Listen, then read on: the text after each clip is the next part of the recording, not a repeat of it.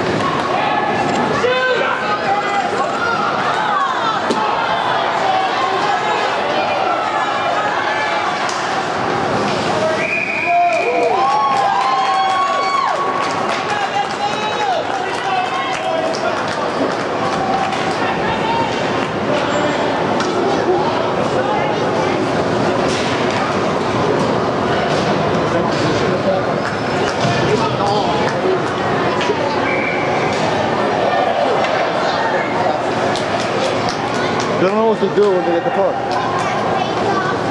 That took too long.